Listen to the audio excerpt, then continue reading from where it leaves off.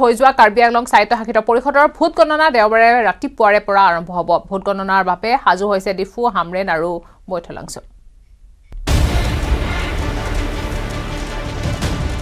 কাইলৈ কাৰ্বি আংলং স্বায়ত্তশাসিত পৰিষদৰ নিৰ্বাচনৰ ভোট গণনা। পুৱা সাত বজাৰ পৰা দুখন পাহাৰীয়া জিলাৰ তিনিটা ভোট গণনা কেন্দ্ৰত ছাব্বিছটা পৰিষদীয় সমষ্টিৰ ভোট গণনা হ'ব। ডিফু চৰকাৰী বয়জ স্কুলত হ'ব দহটা সমষ্টিৰ গণনা। হামৰেন উচ্চতৰ মাধ্যমিক বিদ্যালয়ত হ'ব। নটা সমষ্টিৰ ভোট গণনা। আৰু বোকাজান উচ্চতৰ মাধ্যমিক বিদ্যালয়ত সাতটা সমষ্টিৰ ভোট গণনা হ'ব। আঠ জুনত কাৰ্বি পাহাৰত হৈছিল ভোটগ্ৰহণ দহ জুনত দুৱাৰামলা সমষ্টিৰ দুটা ভোটগ্ৰহণ কেন্দ্ৰত পুনৰ ভোটগ্ৰহণ হৈছিল। আৰু বেলট বাকচত ছাব্বিছটা পৰিষদীয় সমষ্টিৰ মুঠ এশ পঁয়ষষ্ঠিগৰাকীৰ ভাগ্যবন্দী হৈছিল।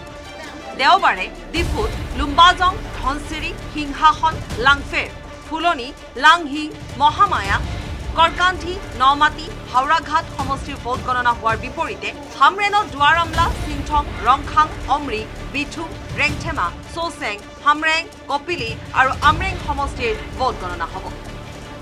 আনহাতে বোকাজানত বৰজান চৌচেং ভেণ্টা নিলিপ বোকাজান দেওপানী সৰুপথাৰ আৰু দুৱাৰবাগৰি সমষ্টিত ভোট গণনা হ'ব।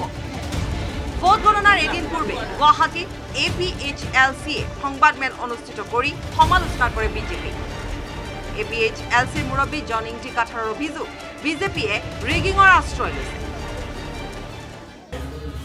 আঠ তাৰিখত যিটো কাৰ্বি আংলং অট'নমাছ কাউন্সিলৰ ইলেকশ্যন হৈছিল। ইলিগেলি হৈছে পঞ্চায়ত আইনমতে হৈছে ইলিগেলি। আমি বিজেপি তাত কৰাপ কৰাপ্টেড পাৰ্টিসকলক মানে আউট কৰিবলৈ বিচাৰিছিলোঁ। পেৰাগ্ৰাফ টু চাপ্টাৰ ছেভেন মতে আইন বনাব লাগিছিল ইলেকশ্যন আইন সেইটো নবনালে। আমি বনাম বুলি ভাবিছিলোঁ কিন্তু ইলেকশ্যনত পূৰা ৰিগিং কৰিছে। আচল ভোটাৰ্ছসকলে ভোট দিব নোৱাৰিলে। তেওঁলোকে দিয়াৰ আগতে কোনোবাক অলৰেডি দি দিলে। বা কোনোবাক দিবলৈ গৈছিল তেওঁলোকক খেদি পেলালে। তেওঁলোকে একো নাই যে ভোট দিব নালাগে ইমানেই আমাৰ এ পি এইচ এল চিসকলক স্পেচিয়েলি কাৰ্ণা পাহাৰৰ নিৰ্বাচনত BJP Congress A P H L C A S D C C P I M এলৰ মাজত মূল প্ৰতিদ্বন্দ্বিতা হৈছে। অৱশ্যে দুই তিনিটা সমষ্টিত নিৰ্দলীয় প্ৰাৰ্থীয়েও প্ৰভাৱ বিস্তাৰ কৰিছে। ইয়াৰ মাজতে শাসকীয় দলৰ দাবী ছাব্বিছখন আসনৰ ছাব্বিছখনতে জয়ী হ'ব বিজেপি। বিপুল বৰ্মনৰ report news eighteen Asom north east চাহ পোহৰৰ খেলা। ছায়াময় আন্ধাৰতে স্থাপন কৰিলে এখন বিদ্যালয়ৰ আধাৰশিলা মমৰ পোহৰতে পাতিলে বৈঠকো। মন্ত্ৰী হৈও আন্ধাৰতে কৰিলে আধাৰশিলা স্থাপন। কলিয়াবৰত শনিবাৰে ঘটিল এই অথন্তৰ মমৰ পোহৰত মন্ত্ৰীৰ মিটিং মন্ত্ৰীৰ ইউটো এক কলা। কলিয়াবৰত নিশা চাহ পোহৰৰ খেলা। মন্ত্ৰী আহিছিল কলিয়াবৰত প্ৰথমে ঠিকেই আছিল। হঠাতে লাগিল কেনা।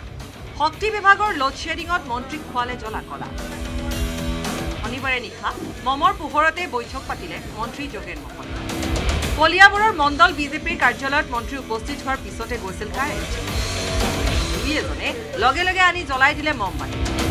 বৈঠকো হ'ল। মমৰ পোহৰতে চাহো খালে মন্ত্ৰী যোগেন মোহনে।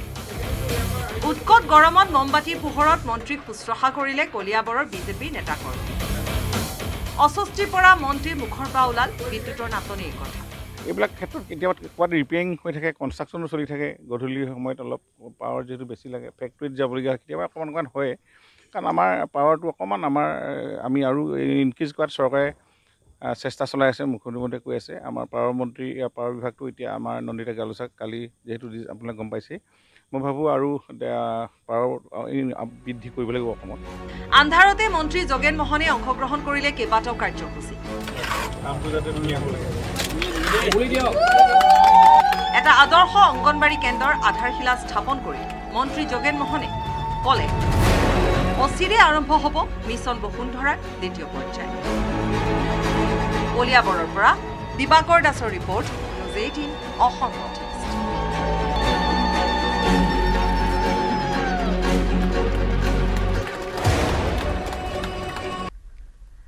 ঘূৰি আহিম খবৰৰ মাজলৈ আছে আৰু খবৰ কিন্তু তাৰ আগতে লৈছোঁ পুনৰ এটা বিৰতি।